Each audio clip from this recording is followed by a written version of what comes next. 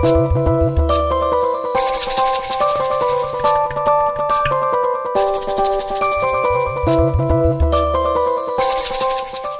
most recent talent trend study suggests that HR needs to be focused on five areas in order to drive business performance and growth. They need to recognize the fast pace of change within organizations today.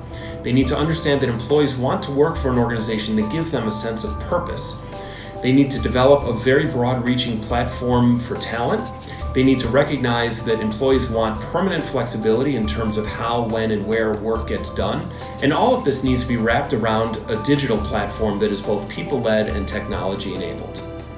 Please join us at our session at World at Work to learn more about our talent trend study.